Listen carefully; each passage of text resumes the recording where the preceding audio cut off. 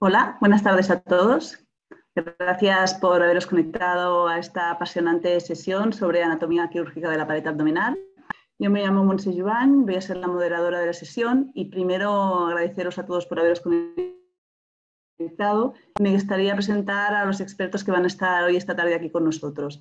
Primero el doctor Javier López Monclús, que es coordinador de la unidad de pared abdominal compleja en el Hospital Universitario Puerta del Hierro de Majadahonda. Nos dará una lección sobre la anatomía quirúrgica de la pared abdominal y después también nos explicará cómo hace la, la técnica de, diferentes técnicas en el hospital. En segundo lugar, el doctor César Ginestá nos explicará cómo hace él en su hospital. Es el, de, la, de la unidad de cirugía videopancreática del Hospital Clínic de Barcelona y nos explicará um, cómo hace el, el TEP um, inguinal. Yo misma después les explicaré um, cómo abordamos en el hospital el TAP lumbar. Seguidamente el doctor Comas Isus, que es responsable de la unidad de pared abdominal compleja en el Hospital San Juan de Espí del Moisés Brogi. También nos explicará cómo, cómo hacen ellos la separación anterior de componentes. Y ya por último, el doctor Rafael Villalobos, que es el responsable de la pared abdominal y cirugía mayor ambulatorio en el Hospital Universitario um, Arnau de Vilanova y nos explicará cómo hacen ellos el, el, la separación posterior de componentes. Empezamos pues por el doctor Javier López Monclús. Cuando quieras, Javier. Muchas gracias. Gracias por la invitación y siempre un placer estar aquí con amigos hablando de cosas que, que nos gustan. Voy a compartir la, la pantalla lo primero. ¿La veis? Sí, fenomenal. Pues bueno, eh, tengo ocho minutos, así que me quiero ceñir, que tenemos muchas cosas de las que hablar. Primero, bueno, quería hablaros de la, de la eh, anatomía clásica, ¿no? Y tampoco me quiero parar mucho porque de la carrera, ya sé que hay de R1 a R5, hay adjuntos conectados, pues bueno, esto es un poco amplio. Está claro, del recto no voy a hablar mucho más de lo que nos importa, aparte de que está metido en una vaina hasta el, el último cuarto inferior caudal que no tiene hoja posterior. Los músculos laterales, más que hablar de ellos, que ya sabemos cuáles son, sí que me importa mucho por las técnicas que vamos a desarrollar, eh, tener claro los límites miofasciales. Hay que tener claro que el oblicuo externo se queda respecto a lo que llamamos, mal llamado línea semilunar quirúrgica, ¿no? que en la reflexión lateral de la vena del recto quedaría el vientre muscular como 3 centímetros lateral, y luego tenemos la aponeurosis de, de inserción, que forma parte de la hoja anterior de la vena del recto. El oblicuo interno sería su límite miofascial, la propia, como vuelvo a decir, reflexión lateral más que línea semilunar eh, de la vena del recto. Y el músculo transverso, que es aquí como el, importante en los, últimos años en la pared compleja, eh, es el, su límite miofascial es realmente lo que de verdad es la, línea semilunar anatómica y eh, lo más interesante es ver cómo cranealmente avanza por detrás en la, insertándose en la hoja posterior de la vena del recto. Y también del transverso importante eh, saber que es el único músculo de la pared eh, abdominal lateral y, bueno, y anterior que eh, se inserta detrás, por detrás de las costillas. Los espacios intermusculares son casi más importantes que los propios músculos. Tenemos el espacio retromuscular, del que hablaremos en el Rives ETEP. Tenemos el espacio avascular entre el oblicuo externo y el oblicuo interno, que tiene su papel en la separación anterior de componentes. Tenemos el espacio cruento que hay entre el transverso y el oblicuo interno, que es por el que, cruento porque discurren los pedículos neurovasculares de la pared abdominal. Como veis aquí, se ve cómo se inserta el transverso detrás de la pared. Y luego nuestro gran plano de trabajo, que es el eh, preperitoneal retromuscular, que eh, tiene su papel en el, en el TAR. Lo que es importante es entender la visión posterior de la pared abdominal y dentro de ese espacio preperitoneal retromuscular tenemos otras dos capas. Tenemos, como se en este dibujo en Letter, la capa que es el peritoneo y por tanto un espacio preperitoneal con grasa y luego tenemos la cubierta interna del transverso que sería la fascia transversalis, o sea, por debajo del plano muscular tenemos dos espacios, el prefascia eh, diafragmática y el preperitoneal. Esto es lo clásico de los libros. Eh, lo que hay que entender cuando pensamos en pared compleja a día de hoy es que se ha redefinido la anatomía quirúrgica de la pared abdominal. Os invito a leer el artículo que hemos sacado, el grupo de, Madrid, del concepto de la distribución preperitoneal en forma de tridente, que eh, un poco da las claves para la navegación extraperitoneal, que es fundamental. No estoy hablando ya de robot, de la paroscopia de abierta, o sea, son el mismo plano en el que trabajamos todos, con un abordaje u otro, y en el que vamos a hacer ese concepto de estopa, de ese refuerzo preperitoneal gigante con una, con una malla, que es lo que realmente repara la eh, pared abdominal. Respecto a estos conceptos, como os decía, tenemos el peritoneo con la grasa preperitoneal, que para que nos entendamos, eh, la firmeza que tenemos o la cantidad de grasa que tenemos en ese espacio de caudal craneal va disminuyendo, como veis en el gráfico de, la izquierda. Por encima tenemos la fascia transversalis cubriendo al transverso y la fascia transversalis pasa al revés. Histológicamente la fascia transversalis es una superposición de láminas, no es una lámina única como es el peritoneo, sino una superposición de capas eh, eh, de tejido areolar conectivo que se puede escarbar a varios niveles. Eh, podemos entrar a través de por encima o por debajo. Y su firmeza aumenta de caudal a craneal. De hecho, cranealmente, anatómicamente se continúa con la fascia diafragmática, la cual es incluso como, casi como la hoja posterior en el recto, nacarada y firme. Esto es una foto de un cadáver, eh, esto es la pared abdominal anterior, vista desde posterior, como en el dibujo de Netter, haciendo bisagra sobre, aquí abajo, sobre eh, la región inguinal. Y veis cómo llama la atención que ese dibujo que os he puesto de la grasa preperitoneal que va más densa arriba abajo es mentira. Eh, vemos que la grasa preperitoneal tiene una distribución asimétrica, peculiar, pero muy constante en el ser humano. Y vemos también desde detrás cómo está la vaina de los rectos, el transverso entrando medial a esa vaina y esa decusación de fibras entre el transverso y el diafragma por detrás del de, eh, reborde costal. Aquí abajo no lo vemos, pero tendríamos el bogros, el recius y las gotieras eh, paracólicas. Si levantamos esa lámina de peritoneo y esa grasa preperitoneal, o oh sorpresa, lo que nos encontramos es que la distribución de la grasa preperitoneal que es la zona segura donde menos se te rompe el peritoneo en la disección preperitoneal, tiene forma de tridente tiene tres dientes, tiene una base ancha que es el recius y el bogros, luego un romboide craneal que incluiría lo que a todos nos han contado como el triángulo graso de Conce, que quedaría aquí eh, incluido. Si lo hemos dibujado en otro cadáver, hemos eh, levantado la pared, en este caso sin despegar el peritoneo, sin romper el saco visceral, vemos que se mantiene esta forma de tridente, o como me dijo un, cirujano chileno hace poco, es como el símbolo de Star Wars de la, de la resistencia. Y es verdad, casi se parece más, más a eso. Y eh, aquí podemos ver cómo efectivamente la zona más débil, por suerte, tiene la hoja posterior de vena del recto en la que podemos trabajar. Y el área más débil de cualquier disección preperitoneal retromuscular va a ser en los hipocondrios, porque justo nos queda una lagunilla de tejido sin refuerzo de grasa preperitoneal entre la hoja posterior de la vena del recto y la púa lateral del tridente o del, tenedor eh, de la grasa eh, preperitoneal. Así que eh, cuando hablamos de reconstrucción compleja pared abdominal con abordajes posteriores, tenemos que tener en la cabeza este dibujo, esta forma de tridente de la grasa preperitoneal, las dos gotieras, la autopista de la línea media preperitoneal que se ensancha arriba en forma de romboide y abajo con el recius y con el bogros. Ese concepto de que la fascia transversalis abajo es tenue y arriba es firme, o sea que normalmente en una disección retromuscular eh, extraperitoneal por narices por abajo vamos a ir preperitoneales y por arriba vamos a ir prefascia transversalis con un punto de corte variable, pero que bueno, suele estar entre 3-4 dedos por encima de la línea umbilical. Y eh, estas áreas de disección preperitoneal serían las, las autopistas. Las otras autopistas que tendríamos serían las hojas posteriores de la del recto, de la disección de Ribes, y eh, las puertas de entrada para navegar y hacer esa navegación extraperitoneal completa serían la grasa preperitoneal de línea media para entrar en la vena del recto, la grasa del bogros y del recius y la línea arqueada para saltar del espacio retromuscular al preperitoneal a nivel caudal y a nivel craneal para entrar también preperitoneales o avanzar en la, en la disección subdiafragmática sería la tercera puerta de entrada en ese romboide graso del ligamento falciforme que, como he dicho antes, incluye el, clásico eh, triángulo graso de, de Conce. Y siete minutos y medio, lo he clavado. Así que... ¿Continúo con la siguiente, Monse? Sí, por favor, Javier, si quieres seguir con el ITEP, que nos pues pues un, momento, Monse, si te parece, ahora que estamos más o menos conectados, hacer lo de las preguntas. ¿De dónde estamos conectados y quiénes somos, Carlos, antes de continuar? Y enseguida conseguimos con el ITEP y os lanzo las preguntas a todos los que estamos conectados hoy, que casi estamos a punto de llegar a 200 personas.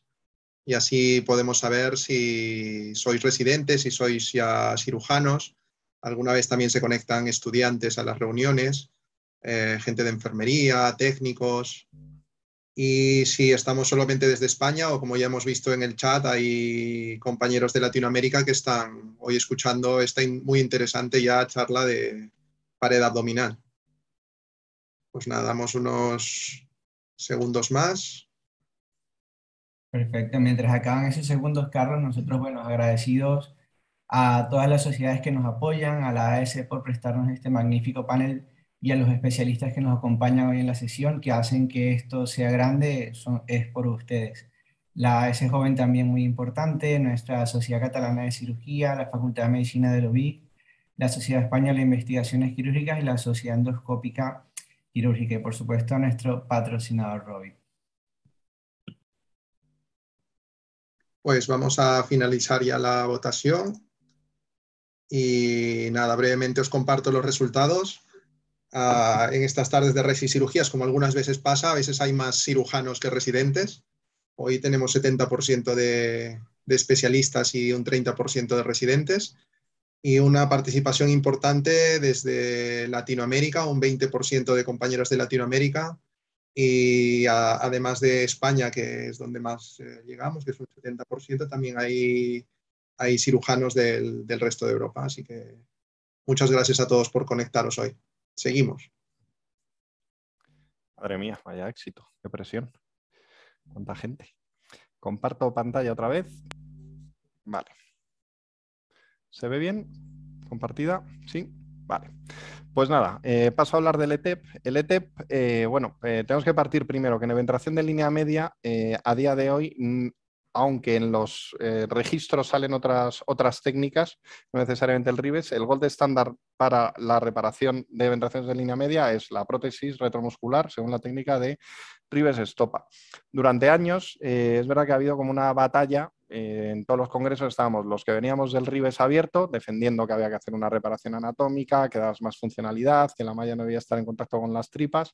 Por otro lado, los laparoscopistas que decían que, bueno, que el IPOM era la técnica, que era rápido, que era fácil, que se iban a casa en el día. Y bueno, estuvimos muchos años discutiendo y finalmente apareció este artículo de Igor Beliansky eh, eh, planteando el abordaje extraperitoneal con reparación protésica eh, lo que se denominó como ET para la penetración de línea media. Y parece que ha sido el punto de encuentro en el que hemos sumado las ventajas de la reparación anatómica que hacíamos en la cirugía abierta con las ventajas del abordaje mínimamente invasivo que se hacía en el IPOM. O sea que es una técnica que tiene sentido. Voy a daros ocho claves en la técnica quirúrgica, voy a ir muy al grano y voy a hablar de las dos complicaciones que tenéis que tener en la cabeza de, manejo. La primera, posición del paciente, eh, es importante partir la, partir la mesa. Bien hagas un abordaje de craneal a caudal o de caudal a craneal, el paciente tiene que estar angulado, luego según estés abajo, estás arriba trabajando, lo angulas en más en una dirección o en otra. Eh, yo me gusta tenerlo con las piernas juntas, incluso en abordaje de abajo arriba para entraciones craneales prefiero tener, estoy más cómodo estando en el lateral del paciente, pero eso es variable. Hay gente que abre las piernas. Los trócares, esta es la descripción inicial de Beliansky. Decía que para las eventraciones M3 para abajo, pues dos trócares de 11 arriba y dos laterales mediales a la, reflexión lateral de la vena del recto. Y para el abordaje de las hernias craneales, eh, dos trócares de 11 abajo en la vaina y uno más craneal eh, de 5. Esto, eh, bueno, yo a día de hoy lo hago un poquito distinto. Normalmente casi siempre las caudales las hago con tres, eh, tres trócares, meto dos onces.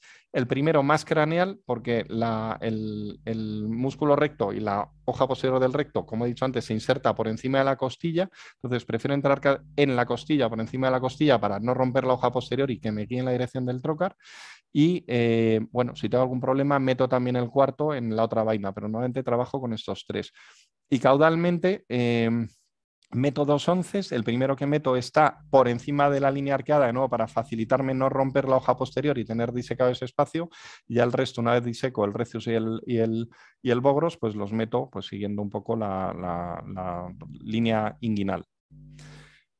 Respecto a la disección, si tenéis balón, usad balón, porque es rápido, es muy bonito meterlo, es muy espectacular cómo te, distiende, cómo te abre la cavidad, como veis en el, espacio retromuscular, como veis en, la, el fotograma izquierdo.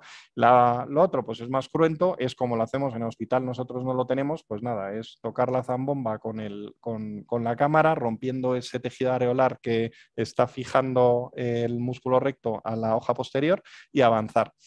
Eh, se tarda más, te sangra un poquito más, pero bueno, los dos igual de eficaces. Está claro que si tenéis disponibilidad del balón, pues ahorra, ahorra tiempo. Crossover, que es como la parte técnica compleja al principio, ¿no? Pues eh, a ver, estoy mirando desde arriba, es un crossover craneal. Eh, la zona fácil donde no vamos a romper el peritoneo es en el romboide graso. Esto es la reflexión medial de la vaina del recto.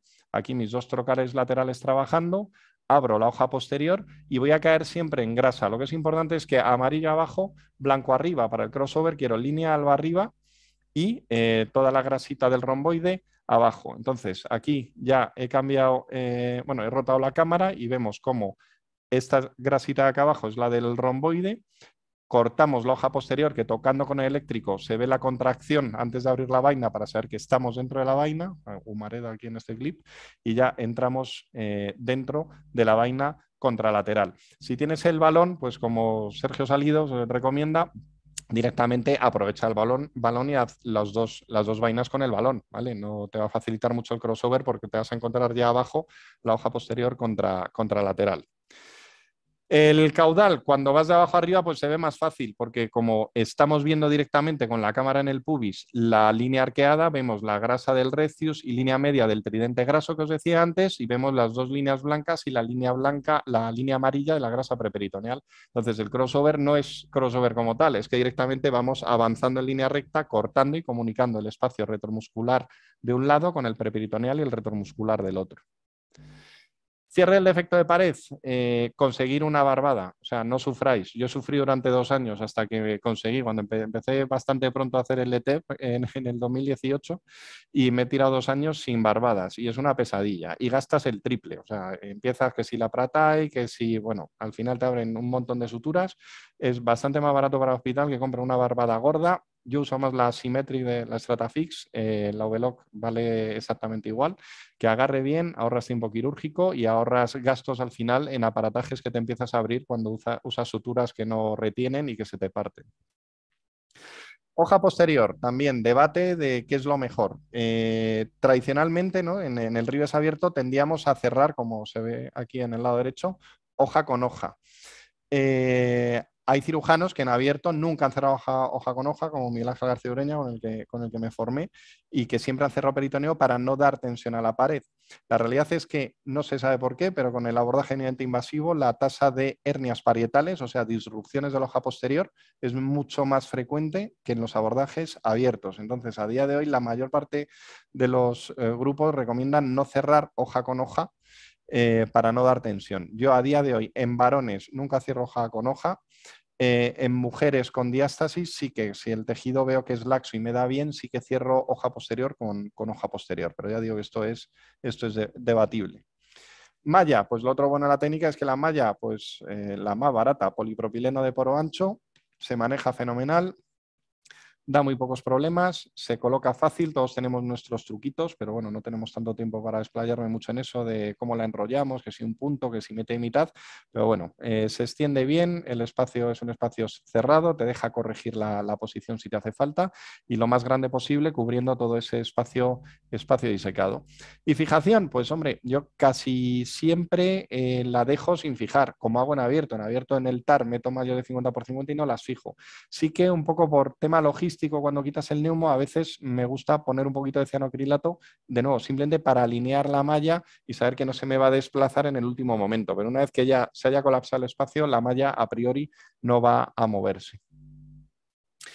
Y dos complicaciones os decía que quería nombrar. Por un lado, mm, no es una complicación, es inherente a la técnica. A veces eh, metiendo el trocar se te va y ¿qué pasa? Como vemos en el lado izquierdo, que te metes en la cavidad abdominal, sobre todo en los primeros steps que hagáis. Pues bueno, eh, hay paciencia. La solución, dejas ya mm, de paso la cámara adentro a partir de la apertura y metes una aguja de veres, descomprimes un poquito. De hecho, es mejor vaciar entero al paciente y rehacer el, el neumo preperitoneal y eh, seguir, tirar para adelante. Eh, lo mejor, yo prefiero disecar la vaina todo lo que puedo, la de mi lado, la primera, para tener mucho espacio en caso en que en el crossover eh, abra inadvertidamente el peritoneo y se me cierre el espacio, pues que tenga ya más, más espacio disecado.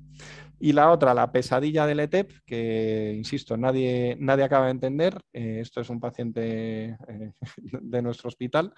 Eh, pues hernias parietales. El paciente aparece en la urgencia al tercer, cuarto, quinto día posoperatorio obstruido y lo que encontramos son disrupciones de, esa hoja posterior. Vemos cómo tenemos la malla fenomenal colocada retromuscular, pero se ha roto el peritoneo y eh, se ha colado unas. Se puede intentar cerrar, pero según los días que llevemos, eh, a veces es complicado y yo casi os recomendaría ir al IPOM directamente y parchear ese defecto de, de peritoneo. Y muy importante, y eso en el hospital lo tenemos claro, cirugía laparoscópica que aparece en la urgencia de pared abdominal, cirugía que se lleva un TAC, como pasa con los obesos, ¿no? De dolor abdominal en un obeso después de una bariátrica, escáner, porque casi siempre hay algo quirúrgico debajo. Así que el ETEP eh, te aporta la funcionalidad de la reconstrucción protésica extraperitoneal con las ventajas del abordaje eminentemente invasivo. Es muy intuitivo, muy reproducible, la curva de aprendizaje es asequible, no es larga, siempre que partas de un conocimiento anatómico adecuado de la pared abdominal. No tiene sentido ponerse a hacer esto sin tener muy claro eh, todos los, los límites anatómicos de la pared abdominal. Muchas gracias por vuestra atención y dejo de compartir pantalla. Muchas gracias, Javier. Creo que nos ha quedado muy claro. La verdad es que yo hace poco vine a hacer el curso que hacéis en, vuestro hospital de, de, TAR y me gustó mucho y creo que está muy clara que está la idea del cliente graso. Creo que con esta idea ¿no? te quedan muchos conceptos claros y es muy útil, la verdad. Y, y TED sabemos que es una técnica compleja, pero la verdad es que, que nos ha explicado muy claramente y creo que nos ha quedado muy clara a todos. Pues bueno, seguimos con el doctor César Ginestá. forma parte de la unidad de cirugía biliopancreática en el Hospital Clínic de Barcelona y hoy nos viene a explicar su experiencia con el, con el TED para hernias inguinales. Adelante. Vale, Muchas gracias. Eh, primero agradeceros ¿no? que la confianza para, explicar y compartir esta, nuestra experiencia con, en el tratamiento de las hernias inguinales. Lo que hemos hecho es, eh, pondré un vídeo, no sé si lo estáis viendo ya.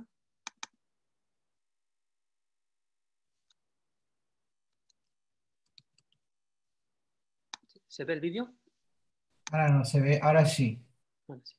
Bueno, es una hernia, una hernia inguinal eh, que, pondremos en el vídeo. Primero, bueno, por recordar un poquito la anatomía que ya nos, ha explicado eh, perfectamente Javier, ¿no? que es eh, la visión posterior de la, zona, de la zona inguinal. Esto es un, modelo que tenemos nosotros, que lo que intenta es reproducir un poquito cómo es esta, es esta anatomía y los puntos de referencia que tenemos que tener. Ya veréis que toda la, toda la conferencia, todo toda la charla se van repitiendo pues, estas, estas referencias. ¿no? La teoría de los, de los, cinco triángulos, como lo dividimos con la, con la Y y con la, con la cintilla iliopúbica, ¿no? y los tres triángulos de las hernias, el del dolor y el, de la, y el, y el del doom, el de la fatalidad. ¿vale? Esto es lo que tenemos que ir reconociendo para finalmente quedarnos con el concepto de dónde reconocemos las hernias indirectas, las directas y las plurales. ¿no? Y finalmente, pues eh, esta es nuestra manera de colocar, de colocar la malla, ¿no? con una entrada a nivel del pubis, la apoyamos en la parte lateral, la extendemos a través de la cintilla iliopúbica hasta el pubis y colocamos por detrás del pubis eh, esta malla.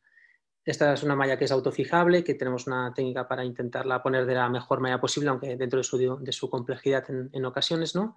Y cómo la vamos extendiendo y finalmente como eh, las hernias inguinales, lo que cuando hacemos una reparación posterior, eh, lo que estamos haciendo realmente es reforzar esta pared posterior sin realmente pues, eh, alterar la zona de las, reducimos los contenidos y finalmente extendemos una, malla que le reforzará toda esta zona y evitará que vuelva, que vuelva a salir la, hernia. Y así es como nos quedaría. El vídeo que, vamos a ver ahora es un vídeo que está poco editado, realmente es una cirugía de unos 14 minutos y es completa y creo que tiene la ventaja de, poderlo entender un poquito mejor de esta manera. Lo primero que hacemos es pues, crearnos un espacio que es virtual en el TER. ¿no? Eh, eh, nos quedamos en la zona preperitoneal y lo podemos hacer con disección Roma, como habéis visto, o también con los, con los balones, como hemos visto antes en el DEV que nos ha explicado Javier. Si los tenemos, pues fantástico, porque la cirugía nos permite colocar rápidamente los, trócares y ganamos ese espacio que teníamos que hacer una disección Roma con la cámara sin disponer de las dos manos pues para, hacer la disección. Si no lo tenemos, pues también yo creo que hay que aprender las dos, maneras de hacerlo y después, pues bueno, si dispones de, este dispositivo, pues, pues mucho mejor. En el momento que está hecho eh, el espacio, lo que hacemos es eh, colocar un trocar normal a nivel de la zona umbilical y cuando ya tenemos este primer trocar, estamos trabajando un neumo bajo de unos 10, de unos 10 milímetros de mercurio a un flujo también bajo eh, para evitar pues, precisamente que nos difunda el CO2 y que nos, eh, tengamos alguna, algún problema con la difusión del gas. El resto de trocares nosotros trabajamos así, el de 11 nivel umbilical, otro de 11 nivel del pubis y otro de 5 entre los dos anteriores, todos en línea, en línea media. Una vez ya hemos colocado los trocares en esta, en esta disposición, mm, nosotros siempre usamos el mismo esquema, ¿no? buscar las referencias anatómicas que nos permiten orientarnos en este espacio que no existe realmente y el primera, la primera referencia anatómica que buscamos es el pubis, ¿no? Está, es fija, la podemos encontrar, aunque no la veamos con este vídeo, sabemos dónde está, la podemos intuir, la podemos palpar y una vez la tenemos bien localizada, buscamos la segunda, que son los vasos epigástricos. Estas son nuestras dos brújulas eh, durante la intervención al principio. ¿no? Aquí eh, acabamos de identificar dónde estaba la, epigástrica y una vez la tenemos bien vista nos vamos a hacer la disección del triángulo de Hesselbach para ver si tenemos alguna hernia directa. En este caso es una hernia que era sintomática, no muy grande, pero sí muy sintomática y que se ve claramente aquí, ¿no? en, el, triángulo de Hesselbach. Hacemos la disección completa y, la, y el, realmente el contenido de esta hernia lo hemos reducido simplemente con la utilización del balón. Cuando ya lo tenemos, pues vamos a hacer la disección lateral del bogros. ¿no? Siempre recuerda referencias el pubis, la epigástrica y aquí podemos orientarnos ya dónde está el cordón, el anillo inguinal profundo y el espacio de bogros. ¿no? Esto siempre, ¿no? Siempre es estas constantes, ¿no? Como vamos viendo estas referencias que tenemos en la cabeza, no nos equivocamos, ¿no? La Y, ¿no? Las epigástricas, los vasos genitales y el deferente, ¿no? Y esto nos delimita bien los tres triángulos de las hernias y eh, el triángulo que tenemos que ir con precaución, ¿no? donde están los grandes vasos y donde pasan todos los nervios sensitivos de la zona inguinal. Cuando ya tenemos esto, vamos a ir a hacer una disección para descartar que no hubiera una, hernia crural. Eh, esto es una de las grandes ventajas del abordaje posterior, ¿no? cómo realmente estamos tratando todo el defecto miopectíneo. ¿no? Y después, finalmente, pues vamos a hacer una disección pues, del cordón. ¿no? En este caso pues, tenemos identificada la, epigástrica como referencia, el lipoma y aquí un saco peritoneal eh, de pequeño tamaño, pero que es importante tratarlo, reducirlo, eh, porque si no, eh, aunque repares la hernia, que en este caso era una medial, pues podríamos tener una recidiva, que más que una recidiva es que dejas una malla colocada por encima del peritoneo y este pues a la larga podría volver a salir. ¿no? Aquí se ve claramente dónde está el, saco peritoneal, lo vamos reduciendo con maniobras, siempre es una cirugía que es muy de, tracción y contratracción, pero no hay que olvidar también pues, hacer la hemostasia y utilizar pues, la coagulación cuando nos hace, nos hace falta. En este caso, eh, lo que ahora estamos aquí pues, acabando de reducir la, hernia, identificarnos, siempre orientándonos. ¿no? Si tenemos esto bien claro, pues mm, no nos perdemos. ¿no? Es una de las grandes dificultades del, del TEP, es que justamente estamos trabajando fuera de nuestra zona de confort, ¿no? decir, de la cirugía abdominal. ¿no? Pues bueno, es una nueva, una nueva zona que hay que aprender, eh, pero que al final también, eh, una vez has hecho unos cuantos, pues ya si tienes esto claro en, eh, como referencia, pues no, no, te, no, te, acabas de perder. ¿no?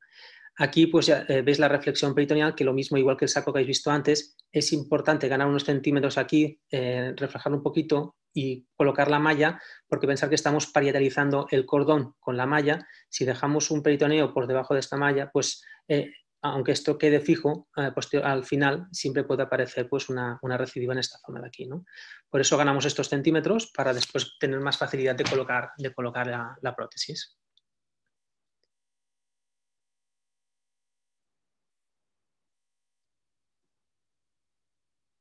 Una vez hemos eh, concluido esto, también es importante eh, pues, que, identifiquemos la existencia de, un lipoma o si hay un cordón graso que no lo confundamos.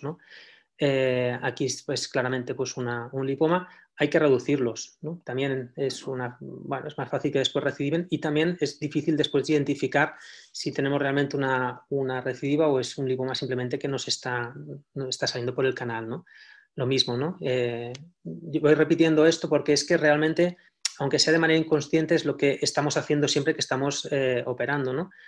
tú, no te, tú te orientas con estos puntos de, referencia y sabes dónde tienes que traccionar, cuándo puedes y cuándo no, si tienes bien identificada todas las estructuras. ¿no? Acabamos de reducir el, el lipoma.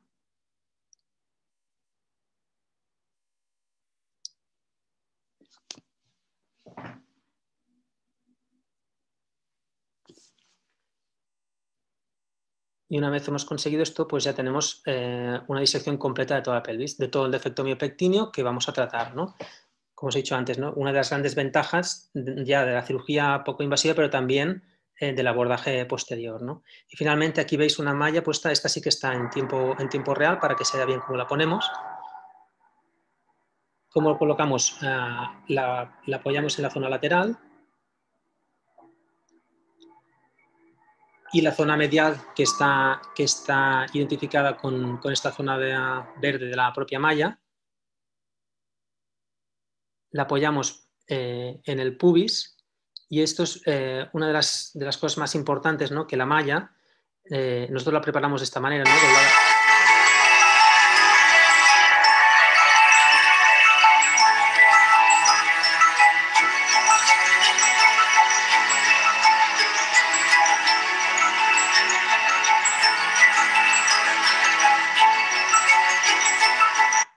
Que se ha colado la música esta, eh, el tercio inferior tiene que quedar bien por detrás de la zona, de la zona ósea del pubis y bien extendida sin que...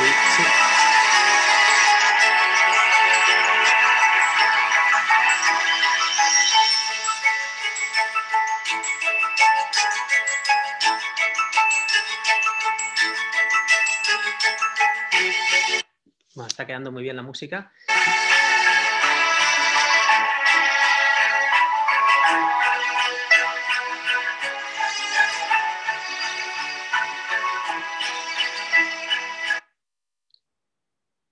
Al final es extenderla, ¿no? Y con el punto, estos puntos de tracción nos sirven porque este, si no nos costaría la, e, extender completamente la, malla en el tercio más, más caudal, ¿no?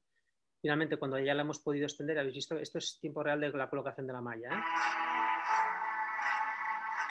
Nos queda con esta visión, con toda la pared posterior pues, reforzada y cómo queda pues, la anillo eh, cubierto, la hernia directa también y la femoral pues también quedaría eh, cubierta.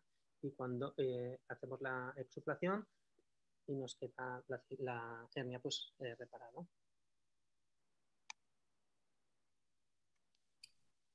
Pues perfecto, César, muchas gracias. El video bastante didáctico, la parte de reconocer la anatomía, como has dicho, todas las estructuras. Y vamos a, no le hemos comentado, pero vamos a dejar todas las preguntas y las discusiones para el final para que poder presentar todas las técnicas. Yo ahora voy a presentar a la doctora Monse que es la responsable de la unidad periabdominal compleja del Hospital General de Granollers y nos va a hablar sobre la técnica del TAP para las hernias lumbares. ¿Se ve bien? Perfecto. Sí, les voy a hablar sobre cómo podemos manejar las hernias lumbares mediante la vía laparoscópica, pero transabdominal preperitoneal.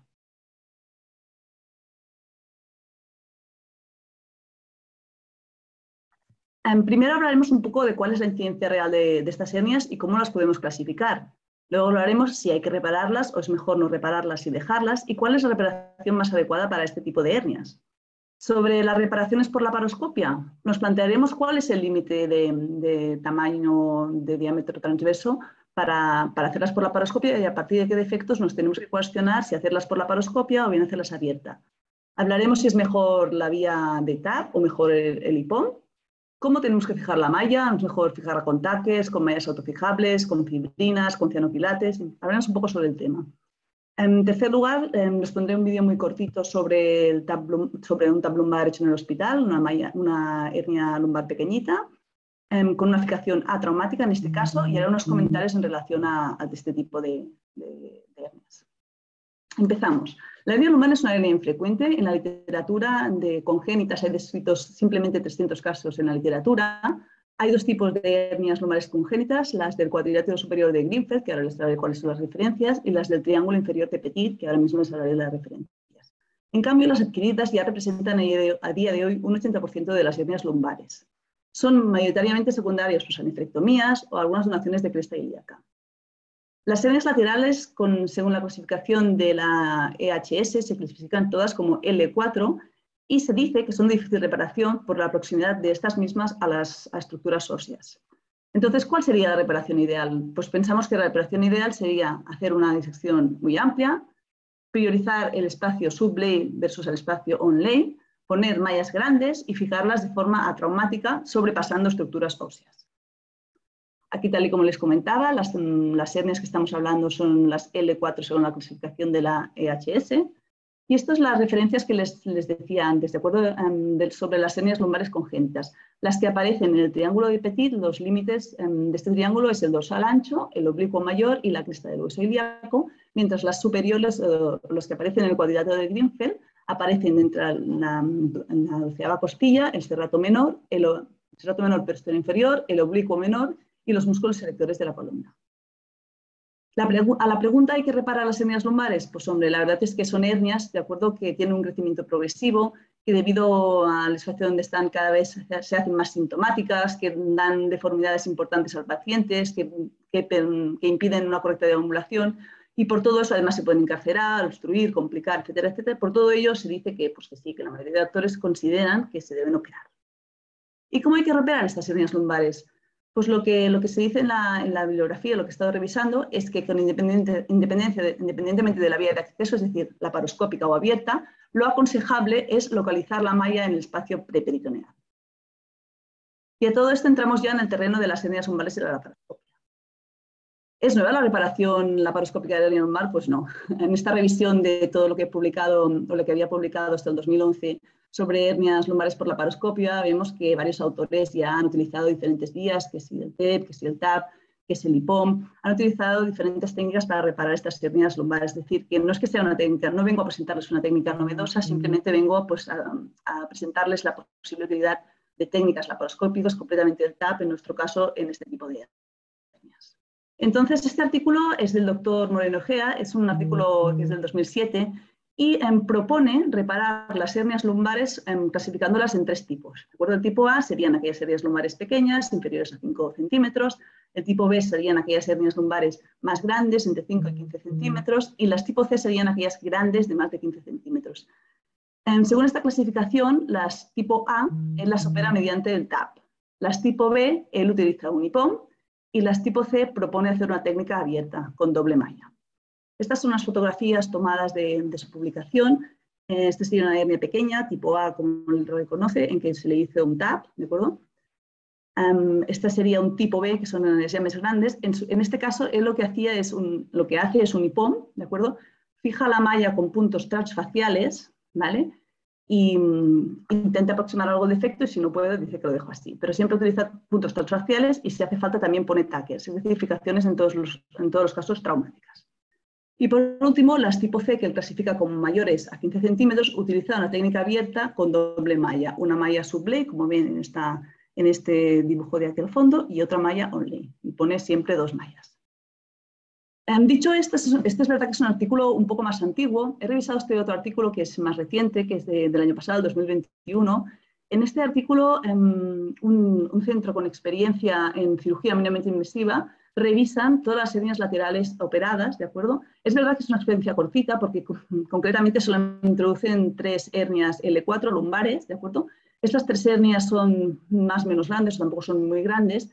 Em, ellos utilizan para hacer estas tres hernias el robot, ¿de acuerdo? En, en lumbares, y dicen que las fijan o bien con mallas ProGrid autofijables o bien, o bien con puntos y con ProGrid con puntos transfaciales y además en algunos casos también ponen tackers. Y lo más interesante, pienso, que es de, este artículo, a pesar de que tiene una, experiencia corta, con una serie muy cortita, es que ellos proponen que incluso aquellas lumbares grandes, entre 8 y 15 centímetros de, diámetro transverso, hacer un condicionamiento preoperatorio mediante toxina, toxina botulínica y mediante pérdidas de peso, y con eso, si hay suficientemente experiencia y si se tiene el robot en el hospital, evidentemente, hacer o bien robotic tap o bien el tap.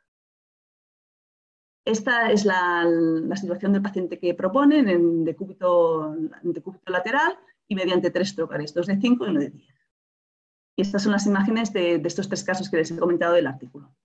Dicho esto, les comparto seguidamente un, un caso del hospital, ¿de acuerdo?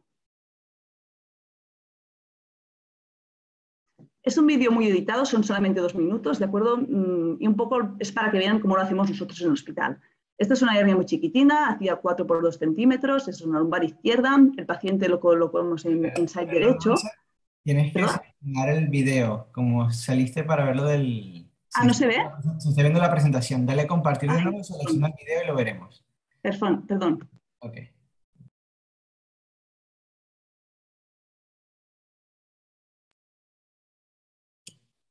En compartir pantalla, seleccionas donde tienes el video abierto y así lo podremos ver. Perfecto.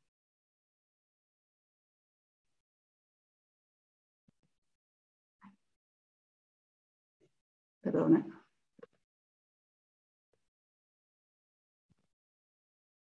¿Ahora? Ahora, perfecto. Perfecto. No, pues decía que quería presentarles este vídeo que está muy editado, ¿de acuerdo? Está muy acelerado. Es una hernia lumbar pequeña, ¿de acuerdo? Es una hernia lumbar izquierda de 4 por 2 centímetros, un W1L4, ¿vale? Y esto es como lo hacemos, como tenemos, tenemos una serie muy cortita de cinco casos de lumbares pequeñas, tal y como la que presento en el vídeo, y esto es como lo hacemos. Abrimos primero el peritoneo, como cualquier TAP, ¿de acuerdo? Disecamos muy, muy bien el espacio preperitoneal, y les quería comentar cómo lo hacemos, porque realmente nosotros no utilizamos métodos de fijación traumática, siempre intentamos que sea lo más traumático posible. Disecamos muy bien el espacio preperitoneal y luego al inserir la malla lo que hacemos es fijarla con los márgenes del defecto y una vez está bien fijada con estos puntos que no son transfaciales nunca, que simplemente es fijarla para que no, para que no cedan más estos márgenes de la aponeurosis, una vez la tenemos fijada con los puntos, ponemos en fijación atraumática con cianofilato. No utilizamos puntos transfaciales y tampoco utilizamos stackers, porque pensamos que en este espacio, si la disección es suficientemente amplia, como describen de unos 6 centímetros por cada lado, no haría falta ¿no? Pues poner fijaciones más, más traumáticas. Aquí, como pueden ver, acabamos de fijar em, la malla al defecto aponeurótico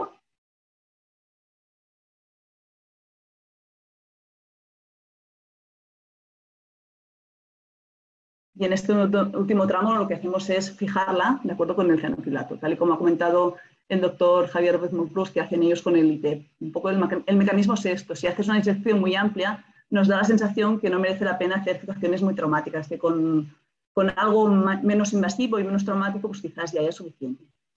Y esto es simplemente el cierre del peritoneo, como pueden, pueden ver.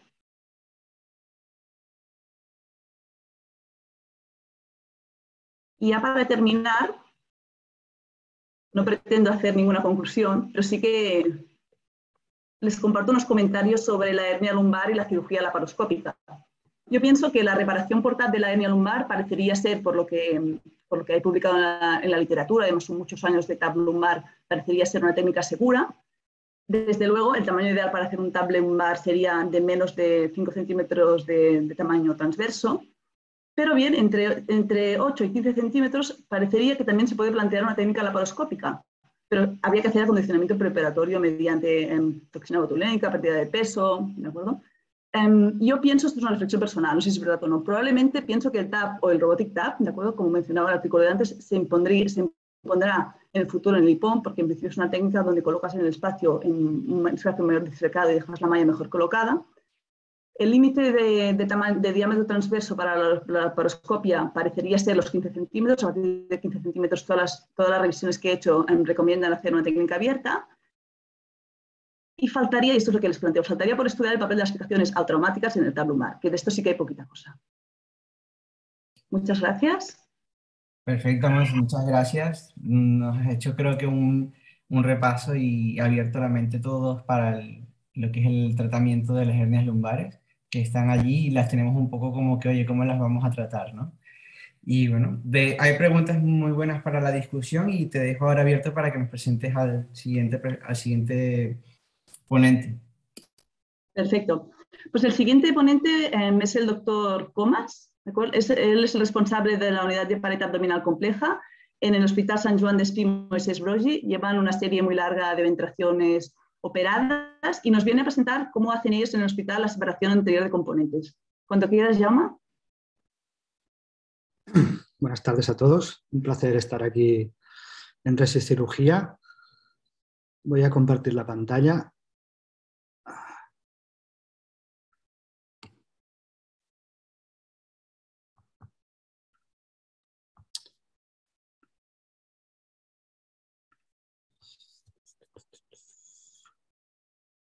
¿Se ve la pantalla?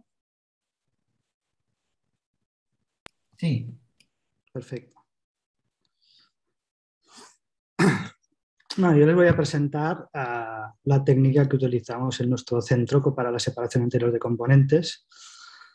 La separación de anatomía no voy a hablar porque el doctor López Monclús nos ha ilustrado ampliamente sobre la anatomía. La primera separación anterior de componentes se describió en el año 90, el doctor Oscar Ramírez, y era una técnica anatómica básicamente prácticamente sin el uso de prótesis. Ah, no voy a extenderme mucho con el tema porque hablaremos de otra técnica, una modificación de estas, pero básicamente el tipo 1 era simplemente una plastia de la vaina posterior del recto, dejando el oblicuo externo indemne. La tipo 2 añade a esto una relajación, incisiones de relajación cortas sobre el oblicuo externo. El tipo 3 ya es una sección completa de la inserción del oblicuo externo. Y el tipo 4 es cuando no se consigue cerrar el defecto y se colocaba una malla biológica inlay para de la pared. Luego, en el 2009, el doctor Carbonell y el doctor Bonafé, con su equipo, publicaron este artículo sobre una modificación de esta técnica con una gran prótesis y con unas nuevas inserciones musculares que nos pareció interesante desde el principio.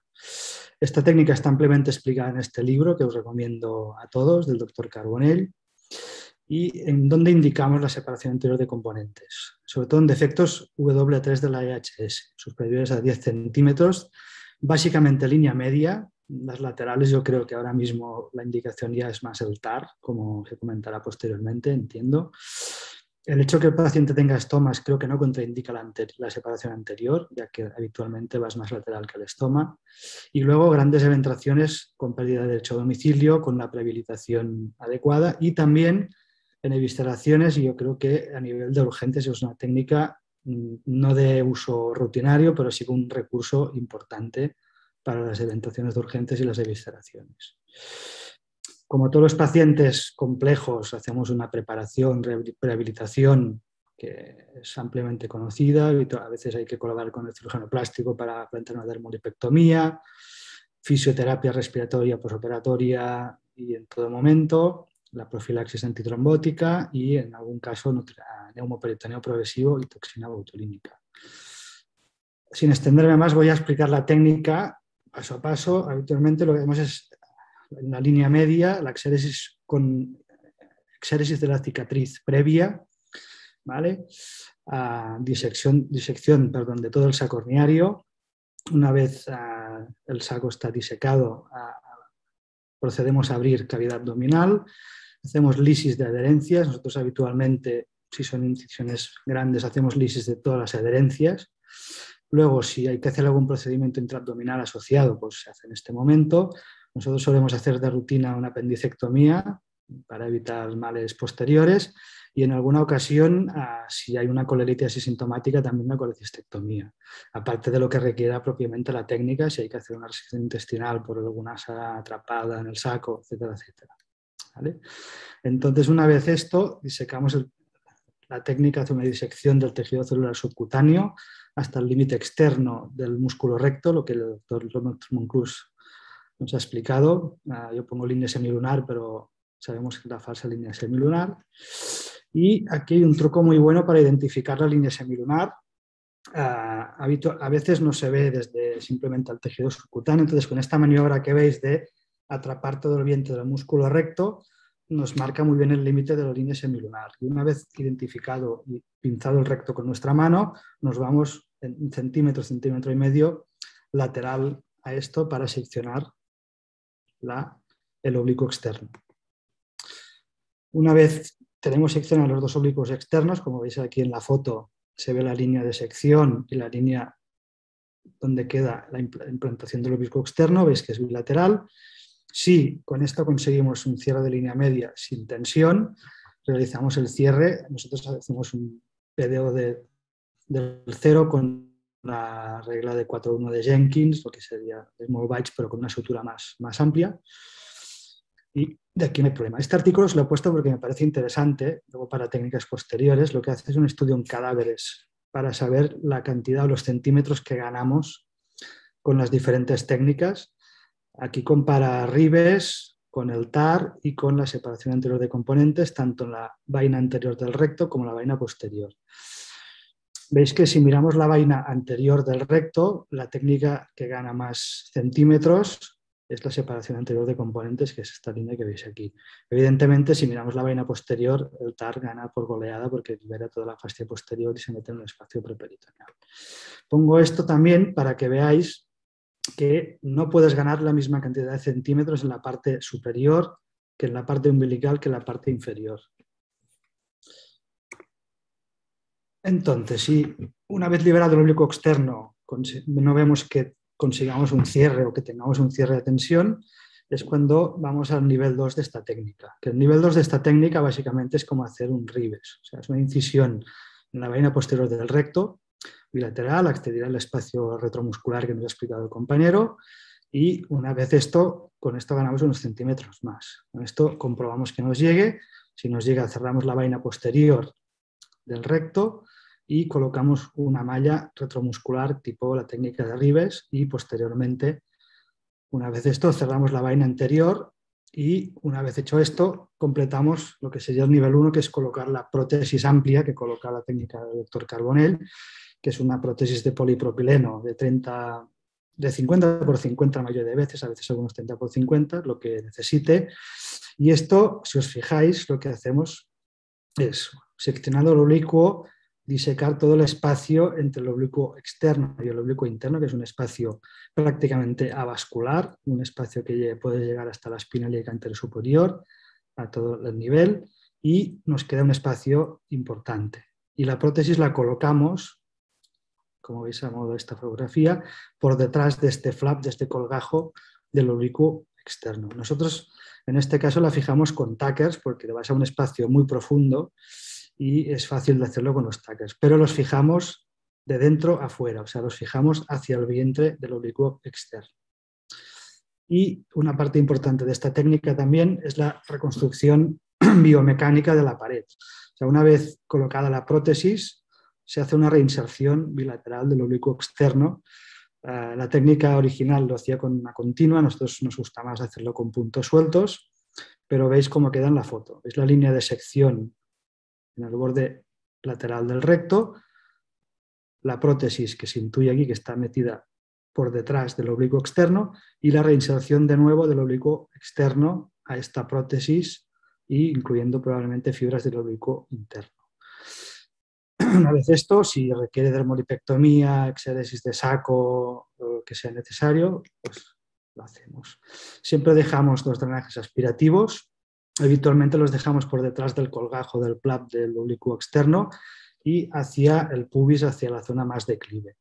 Nosotros solemos utilizar cola de fibrina subcutánea en aerosol para evitar la, formación de seromas y ah, cerramos el subcutáneo habitual con hilo absorbible y cerramos la piel con puntos sueltos de polipropileno Ah, nos gustan más que las grapas porque pensamos que se toleran mejor, los puedes tener más días, son menos traumáticos, creemos, y, la piel es una piel que sufre, con lo cual también solemos dejar de los últimos años también una terapia de presión negativa de forma profiláctica, el pico, como veis aquí en la foto. Entonces, todo esto, las fotos hasta ahora muy bonitas y todo, pero también hay complicaciones de esta técnica. Y la principal crítica y la principal complicación, aparte de las complicaciones de la misma cirugía abdominal, son los problemas de desvascularización al disecar el subcutáneo, la necrosis cutánea. En este artículo de, reciente, donde se revisan todos los pacientes de la serie Everett, que son 1.500 pacientes, se revisan tanto anteriores como separaciones anteriores como posteriores, veis que el tanto por ciento de necrosis cutánea es del 4,4%, que no es desdeñable, pero no es un porcentaje muy grande. Ah, evidentemente hay necrosis y necrosis. Una cosa es esta que veis aquí, pequeñita, que esto probablemente no requerirá más tratamiento que control. Luego esta más extensa, en la cual ya colocamos terapia negativa. Y luego hay casos extremos como puede ser esto, que requiere ya terapia de presión negativa amplia y curas. Pero la gran mayoría de necrosis cutáneas se pueden tratar de forma ambulatoria y con terapia de presión negativa. Y no quiero extenderme mucho más porque no sé si estoy fuera de tiempo. Muchas gracias por vuestra atención.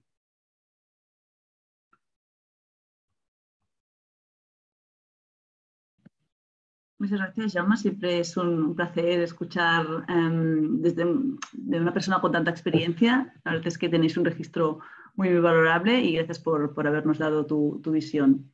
Y ya por último, el último componente es el doctor Rafael Villalobos, que es el responsable de pared abdominal y cirugía mayor ambulatorio del Hospital Universitario Arnau de Vilanova de Lleida. Y hoy nos hablará del, del TAR. Adelante, Rafael, cuando quieras. Hola, muy buenas tardes a todos.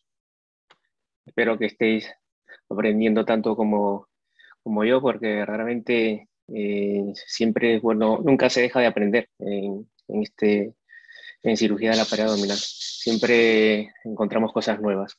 Eh, yo les voy a hablar sobre la separación posterior de componentes tipo TAR, eh, la técnica quirúrgica, ¿vale? la primera vez que uno escucha de TAR, ¿no? Puedes sentirte como si estuvieras mirando hacia como, este, como esta figura, ¿no?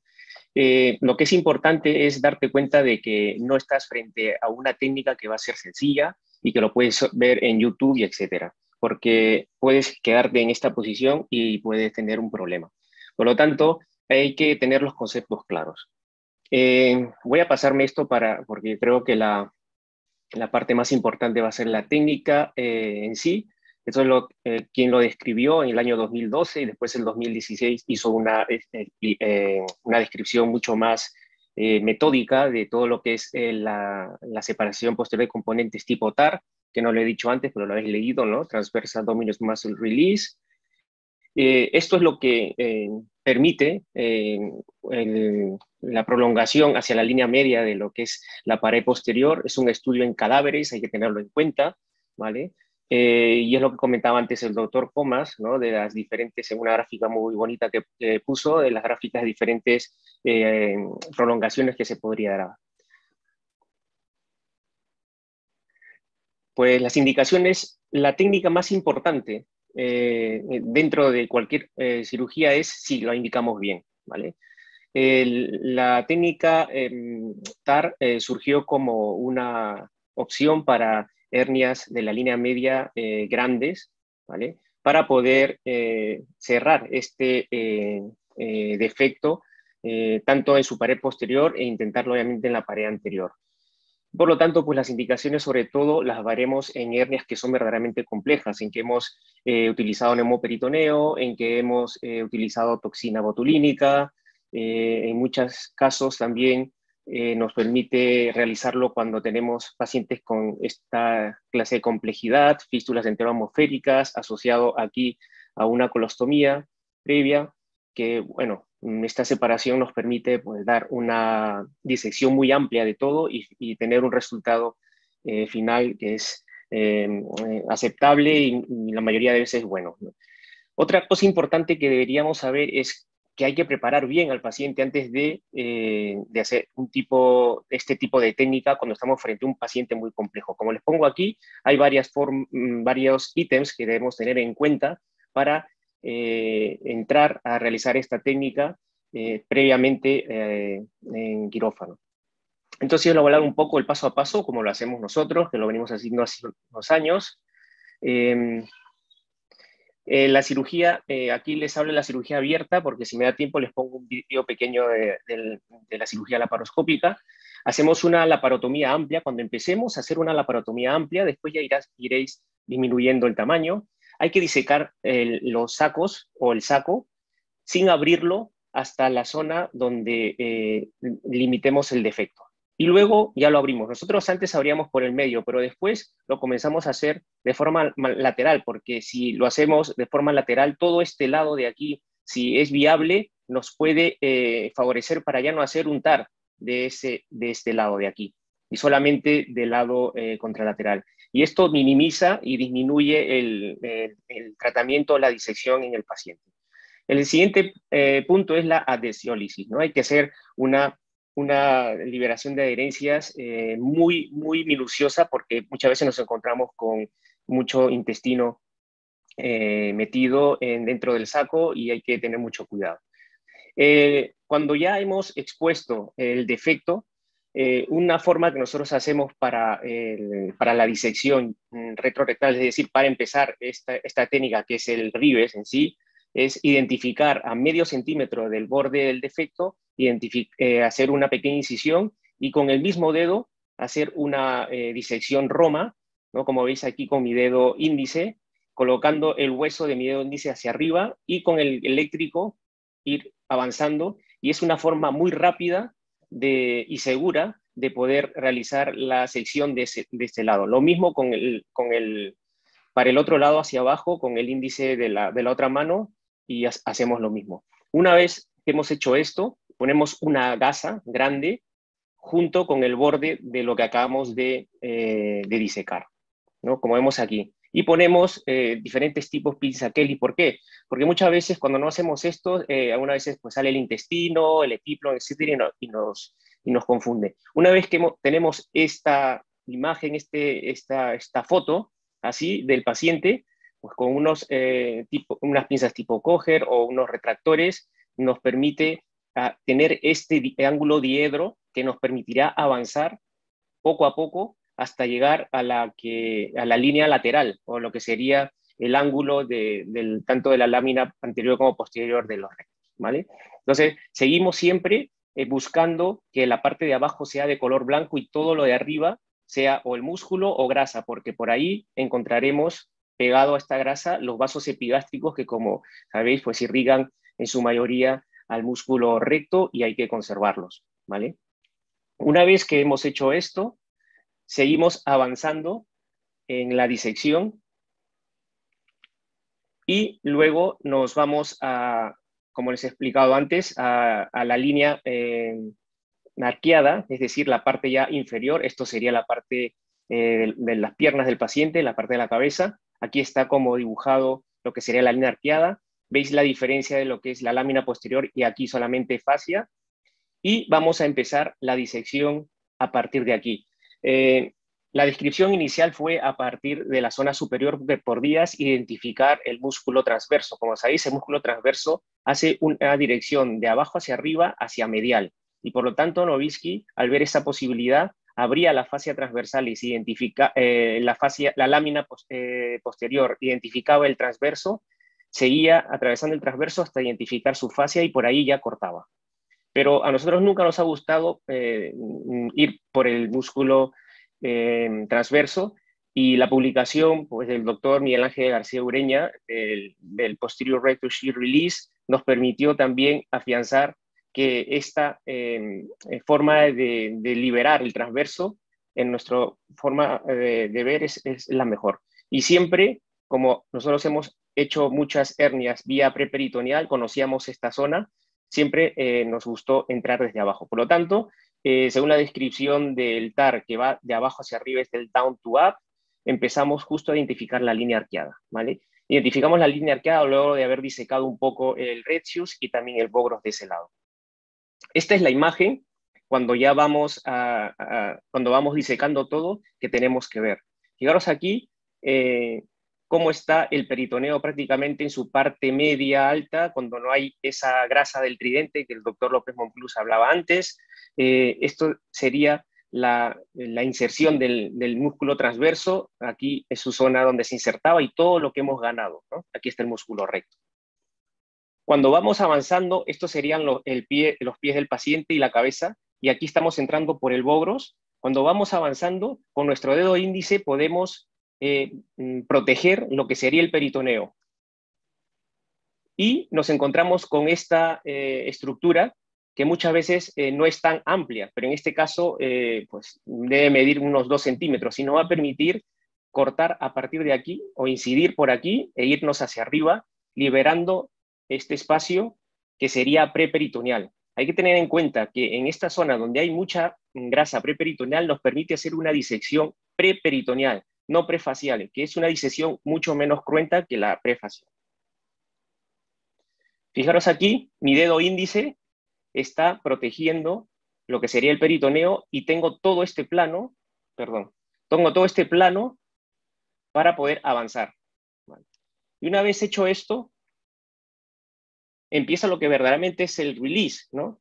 Porque con una torunda o con, un, con una maniobra eh, eh, con, los, con, los, con, los, dedos también, pero de forma muy eh, cuidadosa, podemos ir liberando este músculo transverso como veis aquí.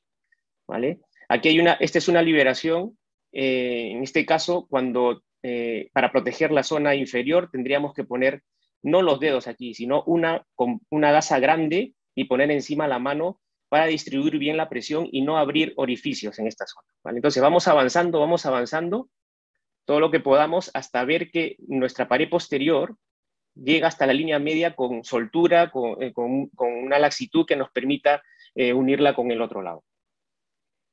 Hacemos lo mismo en el otro lado, este es el mismo, eh, la separación del transverso aquí, y aquí está su zona de inserción, fijaros todo lo que hemos ganado. Esto sería la cabeza del paciente y esto los pies, estamos ya en el otro lado.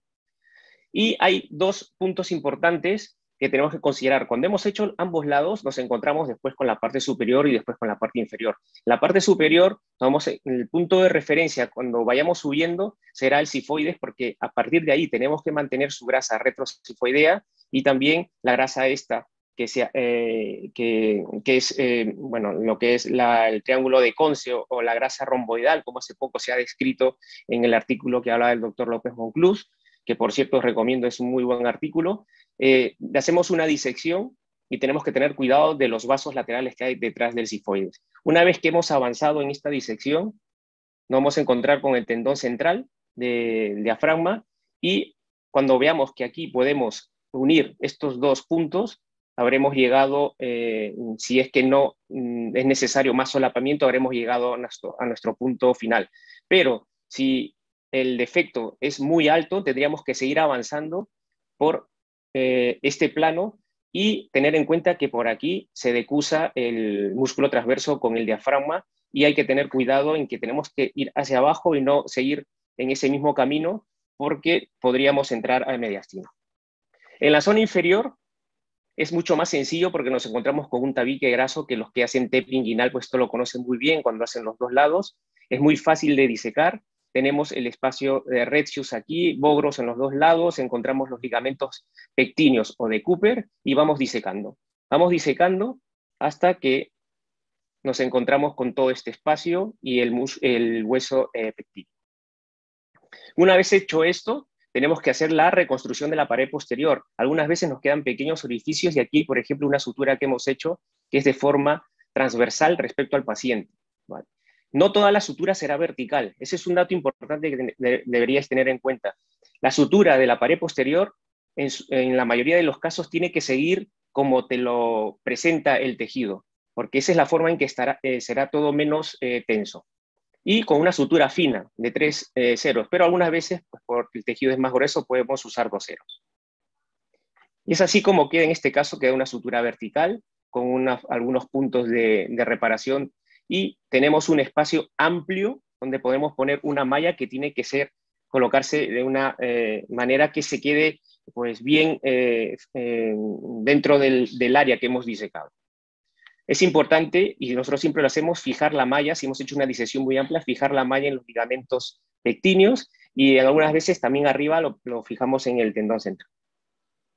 Y el cierre anterior obviamente tiene que ir ser progresivo, Usualmente lo hacemos de abajo hacia arriba, que la tensión en todo el abdomen siempre es menor desde abajo hacia arriba y, si empezamos con menos tensión, pues iremos disminuyendo la tensión hasta cerrar el, defecto.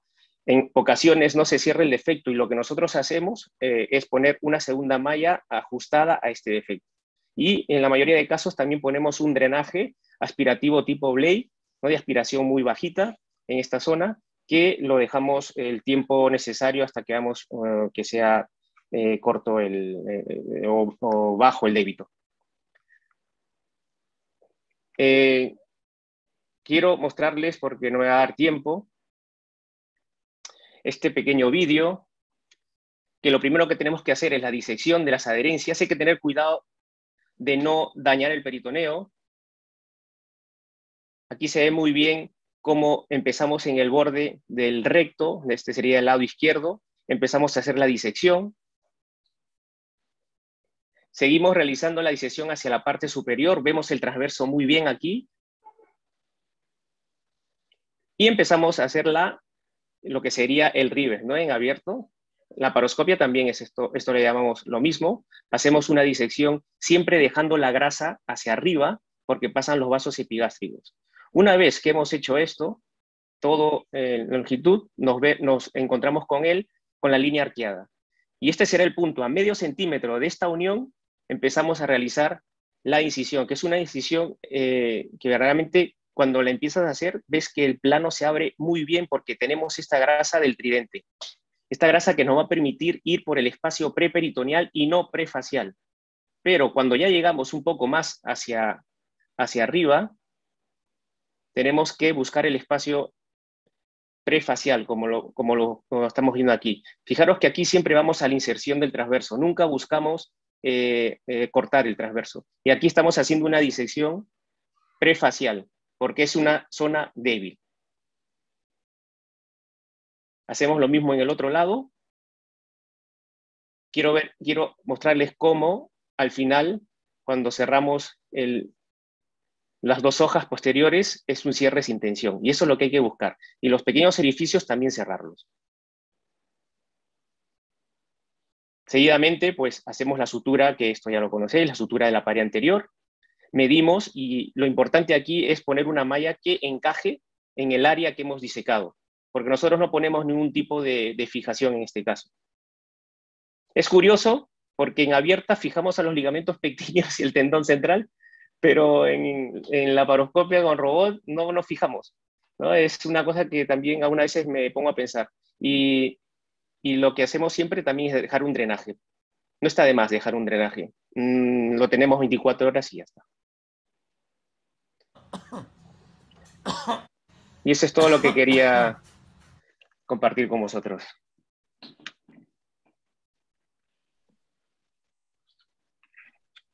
Gracias, Rafa. Siempre es maravilloso ver estas disecciones robóticas. No estás mucha envidia. La verdad es que está muy bien, se ve muy bien el espacio del TAR y es muy, didáctico, la verdad. Quería, para, acabar un poquito el, panel, los, los, asistentes han hecho unas preguntas, así muy rápido. Para el doctor Javier López Monclús nos han preguntado cuál es el límite del ITEP, hasta cuánto entras pacientes por ITEP o se hace también. ¿Tienes algún límite de, tamaño de herniario? Hombre, en, mis manos yo lo dejo en 7-8 centímetros habitualmente. pero luego, vamos, es que depende de si tiene mucho defecto cutáneo, o sea, un, un defecto pequeño con un exceso de saco redundante, pues igual merece más la pena hacerlo abierto y no hacerle un, un, un ET. Pero un poco, bueno, me marco un pelín el límite en 7-8 centímetros. Perfecto. Y otra pregunta que también se ha cuestionado, ¿por qué escogisteis ET en, lugar de, hacer una intra, intraperitoneal y luego disecar preperitoneal? Un TAR, un TARUP. ¿Cómo, cómo? ¿Por qué escogisteis la técnica preperitoneal en lugar de intraabdominal y luego acceder a preperitoneal? Ah, eh, pues porque era una pesadilla. Yo este 2017 me tiré una racha intentando hacer el ribes abierto tap y es que era horrible. Luego manejar la hoja posterior era imposible cerrarlo, imposible.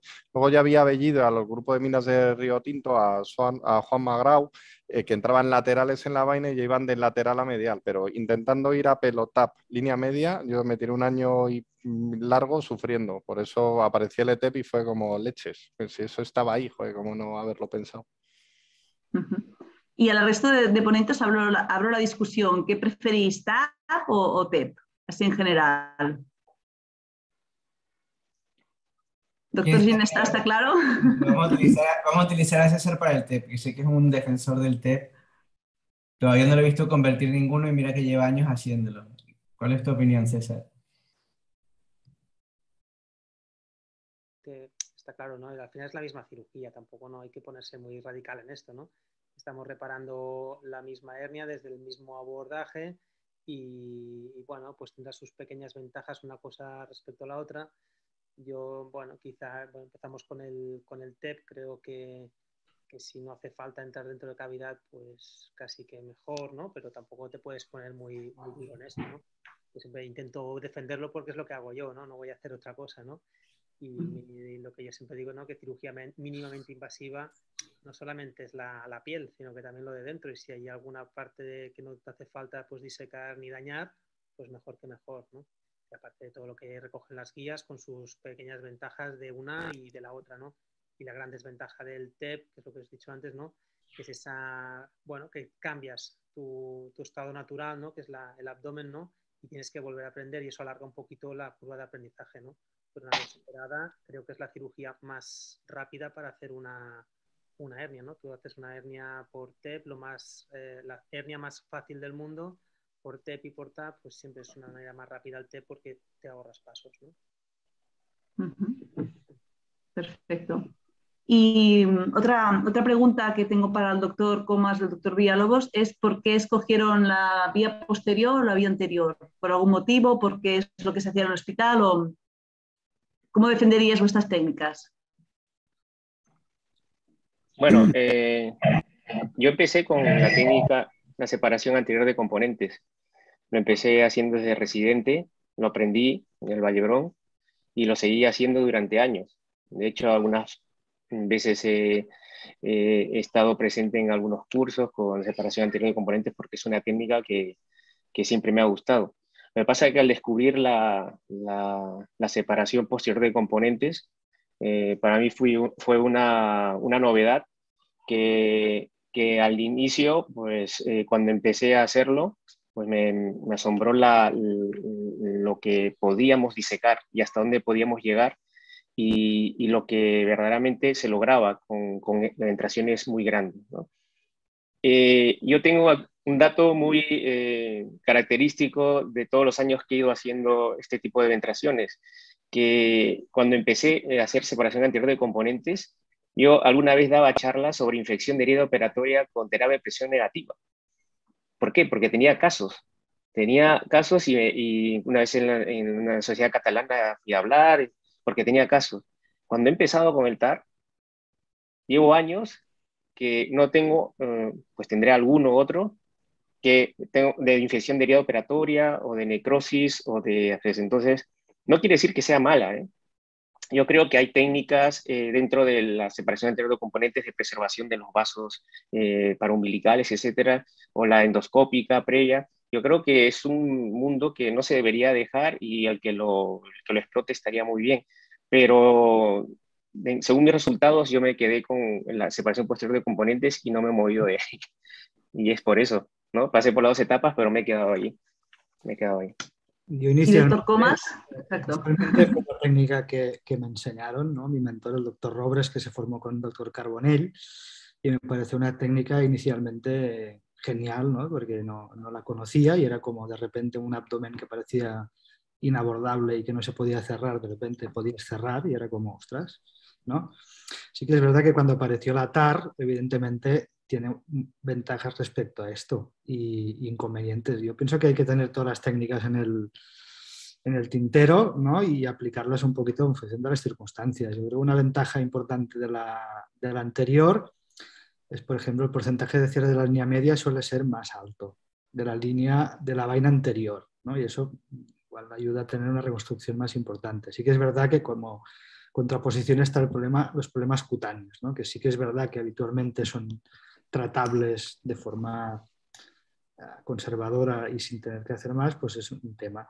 Sí que es verdad que existen las separaciones con preservación de los uh, periumbilicales, la separación endoscópica, la desventaja que veo de estas es que la, prótesis no, es tan amplia y no cubre tanta cantidad como la, como la técnica abierta clásica, entre comillas, ¿no? porque se limita a, la zona central. Ahora, yo ahora mismo hago tanto una como la otra.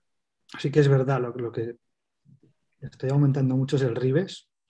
Antes casos que hacía con separación anterior, ah, estoy haciendo un ribes y me llega, me llega porque el Ribes también eh, ayuda a próxima hernia media y, el Ribes es estupendo, la malla retromuscular evidentemente es estupenda.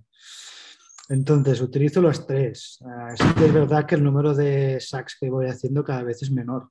Y, a veces sí que las utilizo en cirugía de urgencias, visceraciones, cosas que no puedes cerrar y que es una técnica relativamente rápida, fácil, que dejas una malla fuera del alcance del intestino y, después si esto recidiva siempre tienes el recurso de hacerle después una separación posterior, ¿no? dejar más planos vírgenes y eso es una ventaja. ¿Cuál es el límite que pincháis el botox preparatorio? ¿Los defectos te refieres? Ah, sí, ¿a partir de qué defecto? Nosotros últimamente a partir de 8. ¿Es cierto? Yo, de momento, el Botox no he, podido, no he conseguido introducirlo en mi hospital, sinceramente. Es oh. una cosa con la farmacia, después llegó la pandemia y, sinceramente, no, de momento no he conseguido introducirlo. Sea, el neumoperitoneo sí, el neumoperitoneo hemos hecho como 30 sin Botox, y, pero Botox no hemos empezado todavía. No, lo decía por eso que decías que a veces había ribes que, ¿no? que antes no te llegaban y que es verdad que con el Botox hay algún ribes que te puedes ahorrar la posterior, por eso... El grupo de Bueno Lledó, que es el que tiene experiencia en, esta técnica, ¿no? lo comenta, ¿no? que desde la introducción del Botox, ¿no? lo que antes era una separación, una SAC, una separación anterior, se convirtió en un ribes.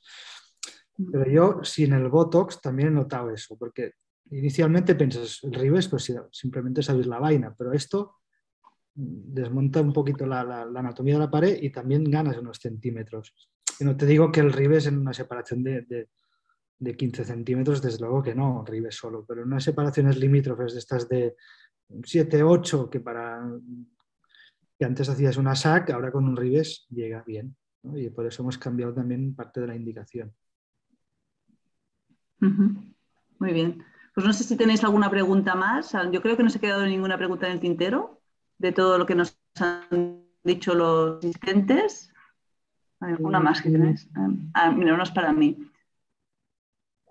Sí, me preguntan si el TAP también la utilizamos para el Spiegel. Pues sí, evidentemente es un muy buen recurso para el Spiegel utilizar el TAP, porque es prácticamente la misma de acceso del tapping inal, ¿de acuerdo? Fijamos también la malla, y sigamos un poquito más para arriba y para abajo y fijamos la malla abajo en, el Cooper, con lo cual yo creo que es una muy buena técnica el TAP para, para las semillas de Spiegel. Hay otra pregunta que hacen del TAR. Es el doctor Villalobos. Si dejáis drenajes para el TAR, preguntan. Bueno, como le he comentado, sí. Sí, siempre, siempre dejamos cuando hacemos un TAR. No, eh, al día siguiente puede haber 30 y lo sacamos, o puede haber 200 y lo mantenemos un poco. Eh, como no, eh, como, no fijamos muchas veces, bueno, ahora que hacemos un poco también el robot, no fijamos la malla. Eh, si hay un hematoma, pues puede girarse la malla un poco, puede entonces, lo que hacemos es evitar eh, que se forme un espacio real de lo que hemos disecado y con toda la presión que hay, pues ese espacio se quede en virtual y también con la ayuda de un drenaje aspirativo lo, lo permitiríamos. También, obviamente, nos permitiría ver si el paciente pues, eh, no tiene un sangrado importante y con la clínica historia, pero siempre lo dejamos. No está de más, en mi opinión. Yo creo que no, no vine de, poner un drenaje, menos un día o dos.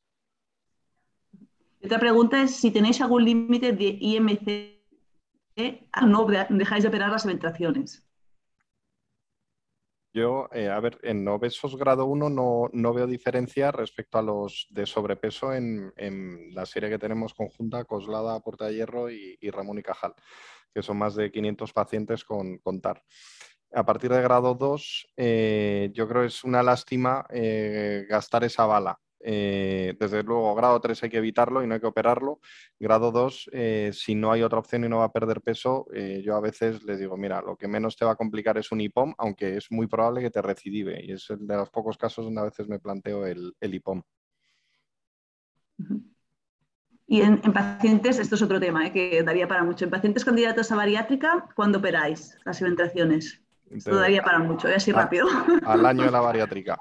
Entre seis meses y un año después de la bariátrica. Cuando ha alcanzado su basal, ¿no? De, que algunos pacientes vuelven a subir, o sea que también es. Este, sí, sí, es, complicado, pero bueno, es sí.